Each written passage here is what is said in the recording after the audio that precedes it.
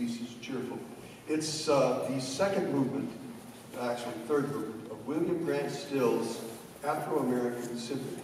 Now, uh, Still is still a relatively obscure uh, composer in, to most people, but he's really a very important figure in the history of American music because he was the first African-American composer to have his music performed by a major American symphony orchestra and also the first to produce an opera under those kinds of circumstances. So he was a real pioneer uh, at a time when this was very difficult uh, and, uh, to accomplish.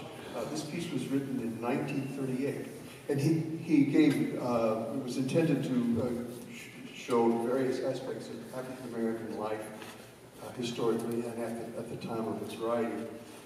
the third movement, which in most symphonies is called a scherzo, from Beethoven on, third movements tend to be called scherzos, and they're kind of dance-like and generally good-natured. In fact, scherzo is an Italian word, I think my Italian friends will hear me out, uh, that means joke or jest, and still gave the piece the, uh, the, the title humor.